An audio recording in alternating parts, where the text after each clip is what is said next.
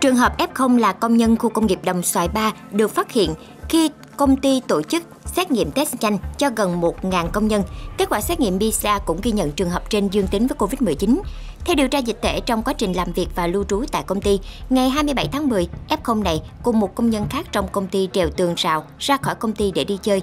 Đến 4 giờ sáng trèo rào vào lại công ty. Ngày 30 tháng 10, được về nhà tiếp xúc với những người trong gia đình tại xã Tiến Hưng. Ngày 1 tháng 11 vào lại công ty làm việc thì phát hiện dương tính COVID-19. Sau khi phát hiện một trường hợp F0 trong khu công nghiệp, các lực lượng phòng chống dịch thành phố đã tiến hành điều tra truy vết và lấy mẫu xét nghiệm, đưa đi cách ly tập trung tất cả các trường hợp liên quan.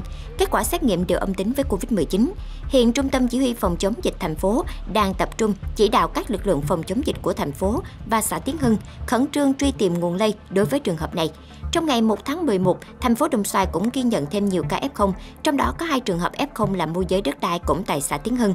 Hai F0 này đã đi nhiều nơi, tiếp xúc với nhiều người. Số F1 có tiếp xúc với hai người F0 trên đã lên đến gần 50 người.